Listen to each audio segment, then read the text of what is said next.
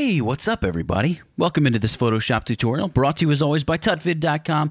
My name is Nathaniel Dodson. We're going to be talking about how to create a t shirt design mockup today from a free PSD that you can download and also placing the design on the front of a t shirt that a model is wearing already. You're going to love it. In fact, here's some examples of what we're going to do floating by on screen. Um, so, hey, you know what? Without further ado, let's jump into the tutorial and take a look. Uh, here we go. We've got this. This is a free mockup design PSD that you can download. I'll have a link down in the description. It's not a sponsor, nothing like that. It's just an insanely useful uh, resource that just so happens to be free. Now, how do we work with this? Oh, by the way, we also are going to do this potentially am working on a couple different T-shirts that I'll both give away uh, in some I don't know I'll figure out some kind of contest or just do like a, a, twice a week giveaway a shirt to like a great commenter or somebody that's always been commenting and supporting the site um, or something like that. Or you know and they'll also of course be uh, for sale on tutvid.com but let me know if you like the designs that you see in this tutorial. That would be great. Uh, but yeah so we're gonna we're gonna take a look at how to mock up this T-shirt and also mock up this t-shirt. So here's how it all begins. Uh, this is all pretty straightforward. Your design here, double click to layer it on. I don't really like to do the double click thing. I like to kind of go my own way. So I'm going to create a new layer here uh, and I'm going to hit Command Option G to kind of unclip that. And I'm going to name this layer artwork hyphen mine and in fact I will shut off the your design factor there. Now the reason it just got all black and funky is because the shadow overlay got shut off so we want to select that layer and reclip it to the artwork mine layer by hitting command option or control alt G and you can see it clips back in it doesn't look so janky and weird anymore. And we're not going to delete the Your Design Here layer because we want to grab this smart filter and move it up to Artwork Mine. So I'm going to, well, I don't want to right click on Artwork Mine yet and make it a smart object. What I want to do is drag some artwork in. So I'm going to go to my Finder and I'm going to go to logov1.ai and I'm going to drag this. This is created in Adobe Illustrator, drop it right into my Photoshop document. It's actually going to drop a smart object in. See, open as smart object. You see that right there? Open as smart object. Hit OK.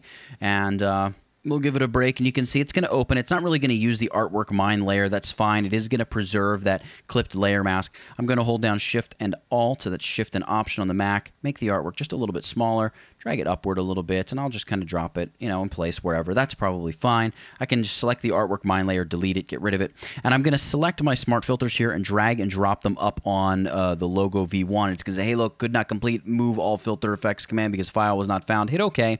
All that's basically, uh, it's telling me is that the the file to displace this was not found. So I'm going to double click on displace and horizontal scale 10, vertical scale 10, fine, whatever. Hit OK, and it's going to open this up and say, hey, where's the file? Well, the file is right in here. It's in the zip file that you download. See, it, there's both a front and back of the t-shirt, and then displacement front and back. So I'm going to load displacement front uh, .psd, hit open, and you're going to see it's going to kind of fix everything right there, kind of blend the graphic in a little bit more. Everything's hunky-dory once more. Now, guys, before we go any further, I want to let you know that I'm selling a course over on tutvid.com, not just potentially t shirts soon, but right now, selling a course. A link just appeared right there. It's all about how to retouch images in Photoshop, um, and I harp on it all the time. But if you pick up a course, it just helps support what we do here, helps me keep cranking this stuff out, and I'm just looking to crank out more and more and more, and not just more, but better, right? I don't want to, I'm not looking to add days to my life, but rather life to my days. I'm not looking to add tutorials to your Photoshop life. I'm looking to add Photoshop Photoshop to your tutorial life. And that's exactly what we're going to do here. But it all begins with picking up a course, helping support what we do, but just watching this video is supporting as well because advertisers pay and all of that. And this video is totally free, so great let's get back to the video. Speaking of the video. Uh, all right, so here we are. We've got our graphic in place, uh, new displacement map, rocking and rolling. Uh, now we have some other stuff here that we can play around with. See, change t-shirt color here, or edit fill value to adjust contrast. See, this is a fill, uh, uh, fill opacity. If I reduce it, the shirt's going to get a little darker. We can't quite see the shadows as much. I increase it, and the shirt almost looks metallic. Not the greatest look. Uh, I'm going to just drop it, you know, keep it right around 70, kind of where it was, and then I can double click on the photo filter adjustment layer, and right now it's just this gray, but I can, you know, I can make it a blue if I want, and then I've got a super bright blue shirt. Let's desaturate that a little bit, make it a little bit more like you would probably see if you got a blue shirt uh, from the printer. Uh, something like that, like a very deep navy blue. We could go with, you know, an olive green or a brighter green or, you know, all kinds of things. We could go with a pink shirt or a brighter pink shirt or a red shirt, all kinds of different things. Let's let's stick with the red shirt here real quick. Let's go red. Uh, and one of the other cool things that you can do, I'm gonna actually I'm just gonna drag my properties panel and drop it over here in my tool, uh, my stacked tool icon bar here. If I go right above my logo V1 layer, we can just call this graphics, whatever, and I add something like a hue saturation adjustment layer. First of all, it's gonna automatically be clipped to just the graphics layer, which means that all this hue saturation adjustment, it's only going to attack our vector graphic we placed. I would do something like tick on colorize, increase the saturation, drop the brightness, because remember our graphic was white, so drop the brightness, and maybe make the, the logo something like a gold, right? So we've got like the gold logo on the red shirt. Kind of a cool look, right? And it's all done just with a little hue saturation adjustment layer. Now this is the simple one. This is just quickly jump in, you know, fire away at this PSD comp that you can download this mockup file. So easy to do. It's taken me five minutes to explain it. It's even faster once you've done it and you go in and just boom, boom, boom, boom, boom, knock it out, and you've got yourself a great t-shirt comp. But it's a little, it's free, but it's a little boring. Let's be honest, right? You want to be able to take your t-shirt designs and apply them to a person wearing the shirt. Let's take a look at how to do that. And here's exactly how we do that.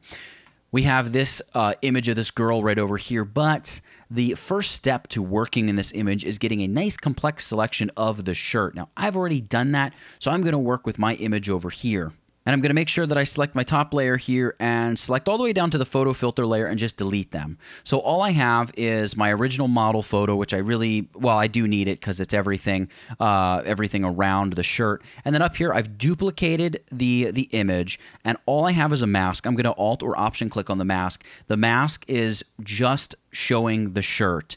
How did I get this mask? Well, a little bit of work. I used the quick selection tool and I selected the shirt and then I use select and mask to kind of refine the edges around the hair. I've got a bunch of different tutorials on making hair selections and crazy complicated selections and working with select and mask. It's kind of a pain in the butt, I'm not going to lie. Um, and working with refine edge and things like that search around my YouTube channel and find them. It would take us 10 or 15 minutes just to select the shirt. So I don't really want to get into it right here, right now. Um, but you want to make sure you select the shirt of the model to which you're going to be adding your graphic. It's the most important step of this entire process. Now, once you have your girl or your guy or whoever, you've got the clothing masked out, just shut that layer off. And what we want to do is take the original layer here and convert it to black and white. So I'm going to do this, one of my favorite ways to convert to a black and white using a gradient map adjustment layer. That's that icon right there in the adjustment panel. And there we go, a simple black to white gradient. Looks great. Now that we have this, we want to save this as a PSD. We need that displacement map. Remember that we used in the PSD comp? We need that displacement map. So what I'm going to do, actually I'm going to double click this first. I'm going to push the black slider over. So I just selected the gradient stripe. I'm going to push the black slider over. It's going to intensify my shadows a little bit more. I think it'll give me a little bit better displacement. And we're going to go File, Save As, not Save. We don't want to save over our original document. We're going to go to the desktop, and I'm going to save this as displacement map. And important here, .psd. I'm saving it as a Photoshop format document, not a JPEG, not a TIFF, none of that nonsense. Go ahead and hit save, hit OK. Once we've done that, we're just going to get rid of this gradient map. We don't need it anymore. We can turn on our model layer. Again, we created this selection using quick selection, cleaned up the edges a little bit using select a mask, yada, yada, yada, yada, yada, a bunch of tutorials on it, all that good stuff. Um, now what we want to do is add uh, our photo filter, which is basically going to convert and change the color of the shirt. So let's go ahead and add a photo filter, and we need to clip it to our model image. So Command Option or Control Alt G. All right, now a couple important things in the photo filter. You want to make sure preserve luminosity is not checked on. So make sure that's checked off. We're going to bump density up to 100. See how it looks really ratty, looks really flat, not good at all. Let's go color and let's choose i think i was going with like a pink before so i'm going to choose like a nice pink here still looks super duper flat does not look very good at all i'm going to go with more of a reddish pink like that and I'm just going to hide my properties panel. And I want to duplicate the model, the masked model layer. So I'm going to just hold down my Alt or Option key and click and drag a copy of that layer up on top of all this stuff. And I'm going to name this layer Brighten uh, if I can spell Brighton correctly, there we go, Brighton slash contrast, something like that. And I'm going to set this layer to the blend mode of linear dodge add, but I think actually before I do that, I want to desaturate the layer. So I'm going to go image adjustments, just do a quick desaturate. It's not the greatest desaturation, but it is desaturation nonetheless. You can see it's just over the shirt, right? Because we're still masked to just the shirt. And I'm going to set it to linear dodge add. It's going to really brighten things up like crazy. And I'm going to reduce the fill opacity. Fill opacity and linear dodge add are very interesting the way they work together. I'm going to reduce it to about 40% or so. And you're going to see here that what this is doing is it's taking that admittedly very flat color and just infusing the highlights and whatnot back into the shirt so as to give it more depth. So the shirt is not just losing all of its shape and depth. So that's the importance of that linear dodge add layer here in this instance. So since we now have that linear dodge layer in place, kind of cleaning things up, it's time to add some artwork.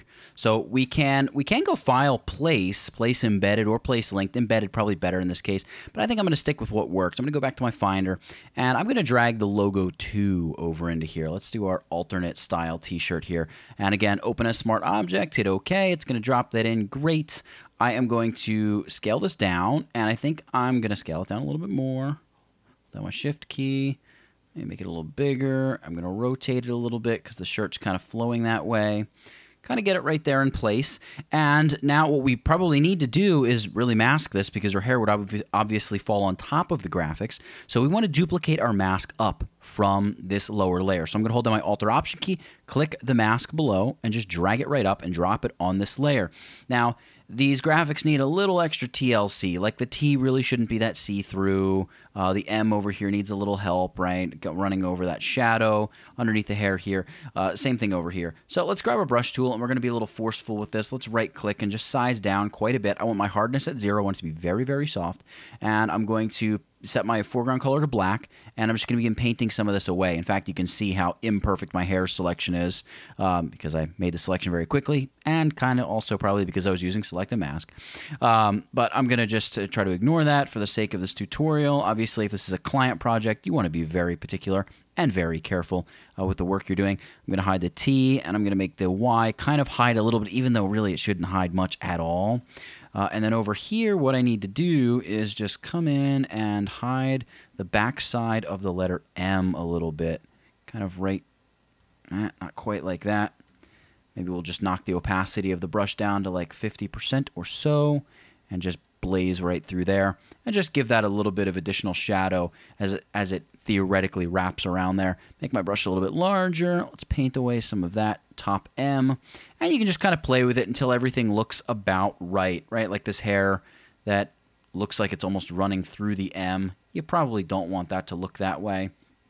So just roughly clean it up. And when you zoom back out, it's going to really just look like the hair is flowing naturally over everything. All right, so once we kind of have the, the graphic in place, spend as much time as you want. Especially, I, I intentionally picked this photo just because it's very difficult because the hair hanging over the shirt. In an ideal world, you want to show off the whole graphic and the whole shirt and everything. So if you can skip this step, hey, more power to you. But I want to at least uh, show you how to do it if you have kind of like the not the not the best possible scenario, but rather a somewhat worse scenario. Uh, so we've got the mask on that logo layer. And at this point, what I want to do is duplicate up this bottom layer here, the, the bottom mask layer. So I'm going to hold down Alt or Option and drag that all the way up to the top, set it to a blend mode of multiply, and then simply reduce the overall opacity, maybe to like 50 or 60 or 70, something like that. It's just going to help give it a little bit more texture and in fact, if I really wanted to bring out the shadows, I could boost the shadows in this layer uh, using like a levels adjustment. And with the levels adjustment, hold down Command Option G or Control Alt G on the Windows. So we're just affecting this this single multiplied layer. Boost those dark shadows, and you can see how it's boosting the shadows in the shirt. Again, we're just trying to accentuate some of that detail in the shirt. Uh, and there we go. We've boosted those shadows in the shirt. And if this needs to be uh, reduced or increased opacity-wise, we can always do that. And the levels will rise and fall with this layer because it's clipped to that layer. Now, of course, what are we forgetting? Well, we're forgetting the displacement uh, filter that needs to be applied to our logo to make it kind of di be displaced and move and flow with the shirt itself. How do we do that? Well, it's pretty simple. Select that layer. It's a smart object. And we're going to go Filter, Distort, Displace. Now, because of the sort of micro texture on this shirt, I don't want to displace this to a horizontal and vertical scale of 10. What that's going to do is it's going to make all the edges of my graphic very like scratched and scraped and not very uniform or nice at all. I still want there to be a little texture on the edge though. So I'm going to set the horizontal and vertical scale to something like 3. Let's try 3. Stretch to fit is perfect and repeat edge pixels is exactly what we want. Hit OK and it's going to say, hey, what would you like to use as displacement map? Well, remember we created one. Displacement map.psd. Hit open. It's going to open this bad boy up. And there we go. We have that displacement map in place. There's without the displacement map. There it is with the displacement map. So you can see if we zoom in, you can see what it's doing to the edges of the graphic. And that's even just at three.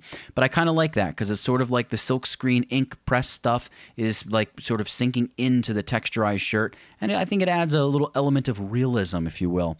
Um, now, one last thing that we can do, well, there's a couple things you can do. You could select this layer and set it to a blend mode of like multiply or screen, depending on the brightness or darkness of the graphic. That's going to help it blend blend in a little bit more. But remember, we can also add a hue saturation adjustment layer above our uh, graphic, our logo, whatever we're applying to the shirt, clip it to the layer beneath, Command Option or Control Alt G, and then do something like colorize. And if it's a white logo, we need to begin by darkening it pump that uh, saturation up, and then begin changing the color. So we can do like a nice yellow here if we like over top of the pink and just commit the change. Now I have this set to a blend mode of screen. We could go back to normal, see what that looks like. It's a little intense. Uh, that may be that we just need to reduce the opacity of the hue saturation layer, right? Help blend it in a little bit more. The point is you got a ton of options. We could change the color altogether if we wanted. Um, I'm going to stick with the yellow. I think I like when the uh, lower logo layer is set to the blend mode of screen in this case. It looks good.